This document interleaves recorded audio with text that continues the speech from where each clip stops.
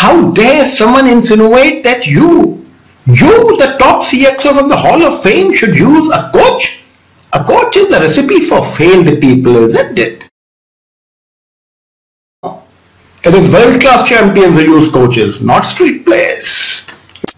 Question is, what type will really suit you best? Which of these?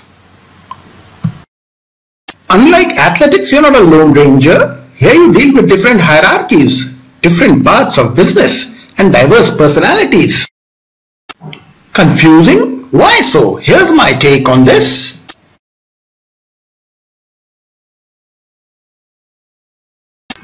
To be useful, the guy needs to be good in coaching, but also these three topics.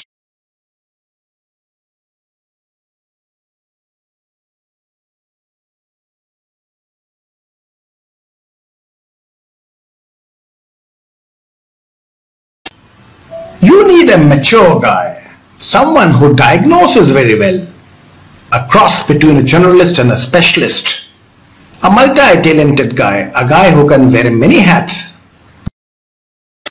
How does this profile look to you?